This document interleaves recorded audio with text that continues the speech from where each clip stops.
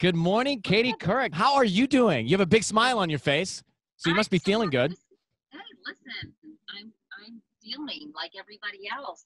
And Yeah. Ryan, your hair is so long. Yes, Katie. I I have you know I have not I'm been to the beauty salon.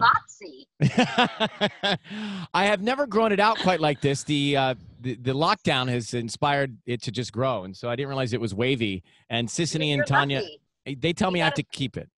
You got it. You got a nice head of hair there, Ryan. Thank you, Katie. Yeah. I appreciate that. Um, all right, let's get into some business here. So, you have been uh, in the broadcast world for for a minute, and you've seen all kinds of all kinds of different stories, and you've covered all kinds of things: uh, the highs, the lows, the good, the bad. How how do you how do you view the time we're in now? How do you put it into perspective? I would say unprecedented, Ryan, is the word. I mean, I'm 63. I have never experienced anything like this. I think this confluence of events, not only global pandemic, you have a huge social justice movement, the likes of which we've never seen, long and extended and expanding all the time. And then you have an unconventional president uh, with very unconventional leadership qualities. So I think it's sort of the perfect storm or the imperfect storm of all these factors coming together. And it's just, I mean, I think it's testing us. And uh, not to mention, disproportionate number of people of color being affected by this pandemic, not to mention the economic hardship millions upon millions of Americans are going through the fact that American exceptionalism is not at all exceptional when it comes to how this pandemic is being dealt with.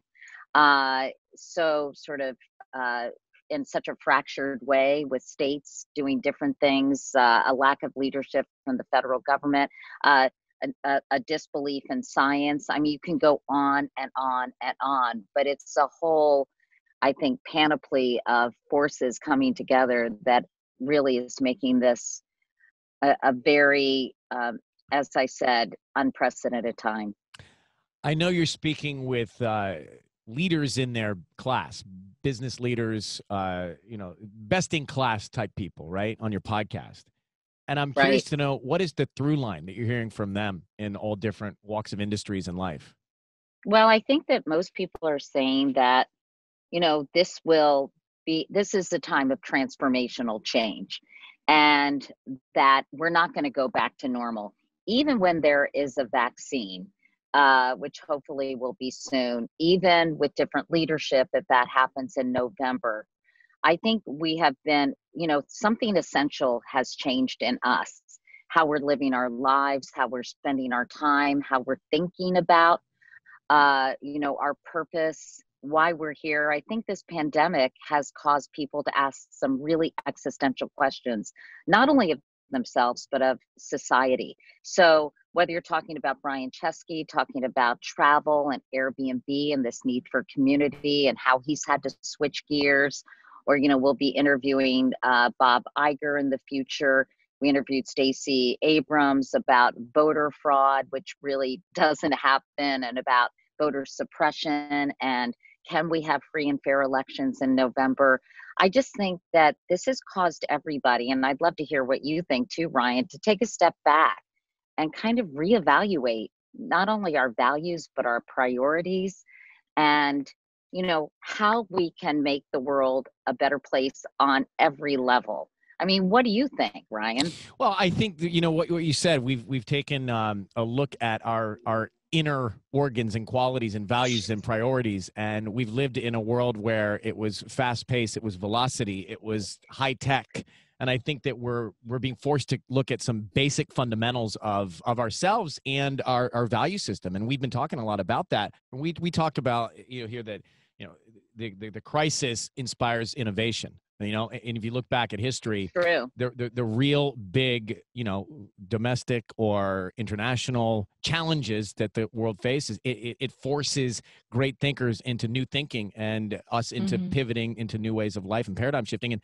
and that may be some of the silver lining that comes out of this You hope so. You know, you hear about climate change, and 2020 is sort of the do or die year for for global warming and climate change. And you know you want it you, you see these pictures of you know the the canals in venice full of fish and you know the air much cleaner and and sea life and Yeah. wildlife coming up and you see wow this is what this is what happens when we recalibrate or rethink uh you know energy. And so you know i i hope my i hope and pray that this will provide an opportunity for us to fundamentally change the way we operate and that it won't go back to the way it was that we're going to use this opportunity to say this is the kind of world we want to create. And honestly i look at young people and think this is what they're doing. They're not going to let us go back to the old way of thinking or the old way of doing things. I just don't think they're going to allow it and that gives me so much optimism I agree. I'm never going back to the studio. So I heart take that. Like we're never we're never coming into the office uh, after all this. We got the Do you miss it, microphones. No, I don't miss it. no, I don't miss it. I I get to see them on the screen. We talk Mm-hmm. all day about our lives. I don't miss that component of it. I do miss, you know, circulating socially at my friends and you know going to restaurants things like that. But I Mm-hmm. I totally fine to do this from my closet for the next ten years. Totally fine with that.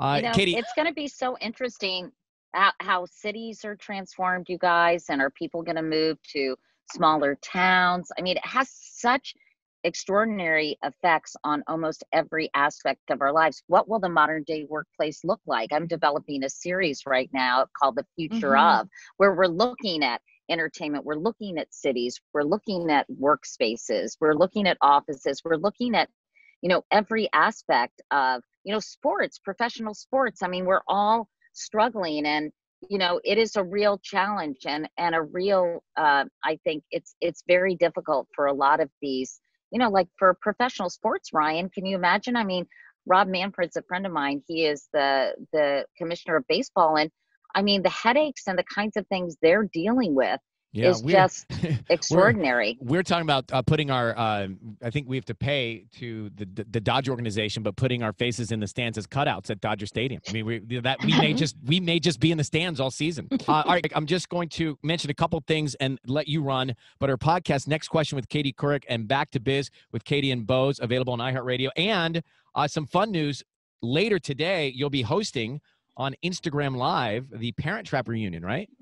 Well, it's actually it's on my regular Instagram grid. Nancy Meyers and I, who you must know, Ryan, yes, who I, I, love, Nancy. You oh know, my gosh, great I'm, I'm director. such a fan. Of, I'm such a fan of her work. I did, yeah, I did. uh, You know, something's got to give, and it's complicated, and the. Parent Trap. Anyway, Nancy and I did an Oh. IG live at the beginning of the pandemic, and Lindsay Lohan popped in, and we are like, "Hey, let's all get to, let's get the gang back together." As if I'm good. part of the gang, I'm not.